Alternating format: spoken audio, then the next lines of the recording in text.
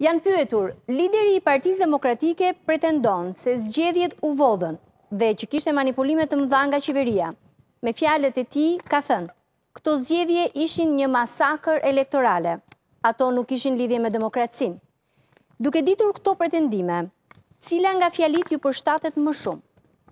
Zgjedhjet ishin të drejta, rezultati ishte i qartë dhe nuk mund të sfidohet, dyzet e katër pikë shtatë për qind. Kishte disa parregullsi që qeveria dhe partia në pushtet, nga qeveria dhe partia në pushtet, por nuk ndikoi në rezultat, njëmbëdhjetë pikë katër për qind.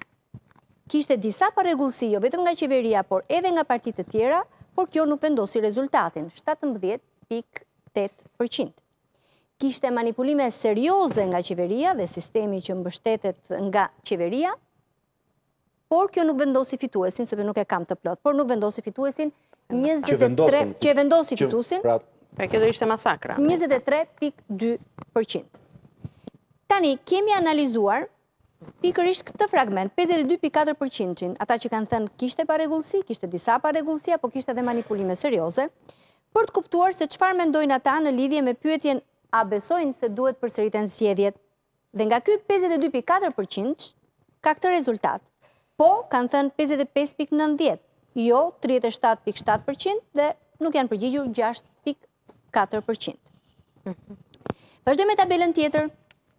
Këtu do të shohim se si janë përgjigjur votuesit e Partisë Socialiste dhe të Partisë Demokratike në lidhje me këto pyetje. 78.3% të votuesve të Partisë Socialiste në 25 prill kanë thënë se zgjedhjet ishin të drejta, rezultati ishte i qartë dhe nuk mund të sfidohet.